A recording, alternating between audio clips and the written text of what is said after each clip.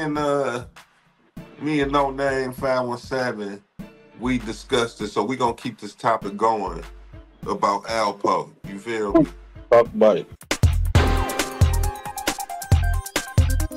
Uh the man of, accused of killing Alpo Martinez beat the case and is a free man. Details of the trial were not available. So we all know Alpo got murked, you feel me? Yeah. And his killer is free. How? Mm.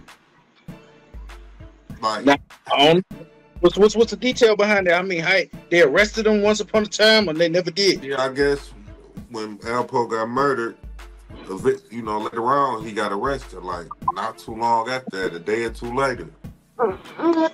Um, and and like they say, details about the trial was not mentioned. It was like, come on, man, it, it'd be highly publicized. Like if Alpo Killer was in the courtroom, just like this YSL trial, and that's a state case. You feel me? Yeah.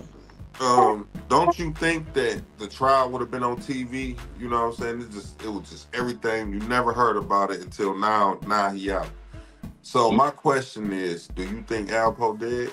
Do you think that they set this shit up Mm. to get him back in witness protection? Okay, we gonna make it like you beat the case because if he murdered him, he obviously murdered him. They say it was about a girl.